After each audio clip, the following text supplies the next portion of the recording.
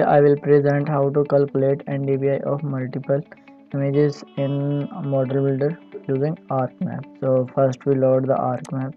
Here I will create toolbox. So this is my tool set. Now create model so here we add the band 4 and band 5 so i have already downloaded multiple images of same place from 2015 to 2022 so i have loaded 2015 band 4 and band 5 so here we search raster calculator. Now we drag this.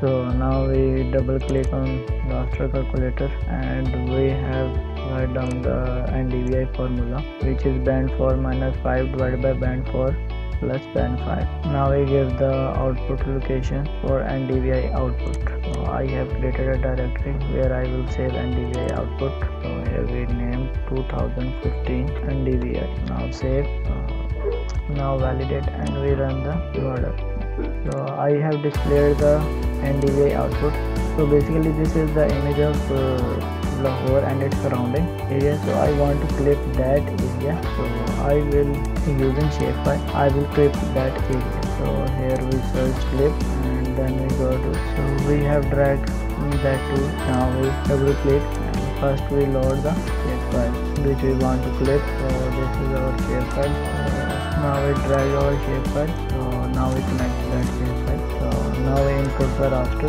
that's it this is our raster we need to check this so now we get the we need to check this box so now we change our directory. So here we write down rename this clip.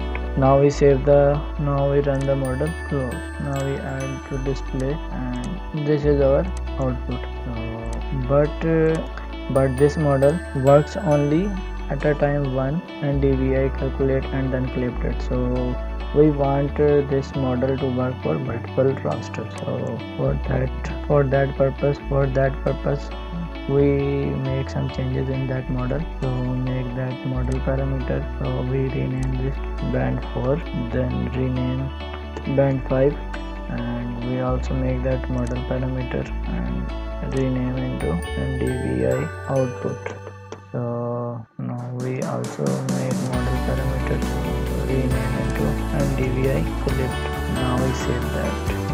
Now double click and remove that back.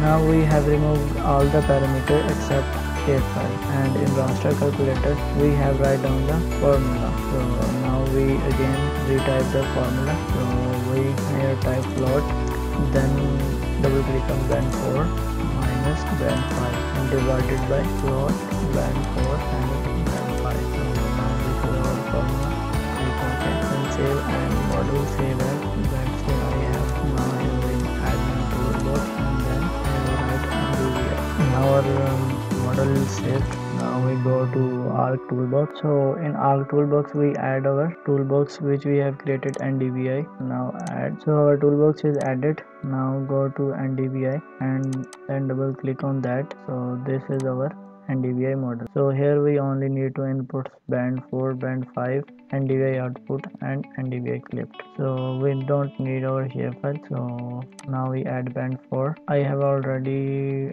add the band 2000 worked on 2015 so I need to onward years 2016 17 18 so this will work for only one time so we right click on that and click on batch then it will work for multiple times. So only double click on that and here we one by one import our bands. So band 4 band 5 NDVI output location. So, okay and same procedure for next year. Now we move to 2018 again add the bands.